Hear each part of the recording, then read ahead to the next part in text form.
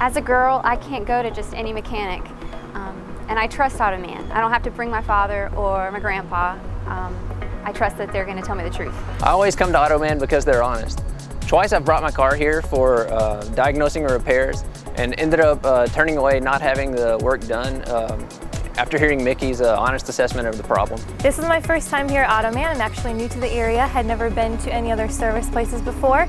Looked it up online, found it had a 4.9 out of 5, 5 rating. Check out his reviews. I mean, they speak for, for the company um, loudly. There's at least 20 something reviews and they're all positive. Once I brought my car here for brake repairs, the brakes were squealing. Mickey ended up talking to me about the problem and telling me that the brakes just squeal and that there's not really, they don't necessarily need to be changed, uh, but that they just squeal. So I was able to save some money and uh, not have the repairs done. I have a Hyundai and it's an older car, it's a 2001.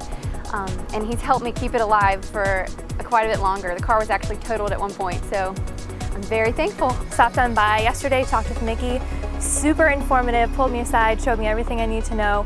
I'm not um, a car person. Typically my dad, my brothers helped me with all of that, so he was very helpful. Um, pulled me aside, showed me specifically about the transmission, about the fluid, gave me a tutorial and all of that. It was very, very helpful. I definitely recommend it.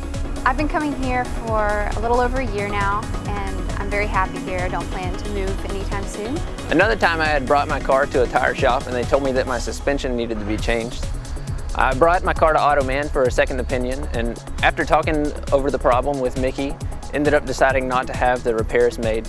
Uh, it would have been a very costly operation, more than $1,000, and so I was able to save a lot of money through uh, Mickey's honest assessment. Mickey, the owner, he's super personable and um, kind and I would recommend it to anyone, especially if you have a Hyundai or a Honda or the other cars that he specializes in.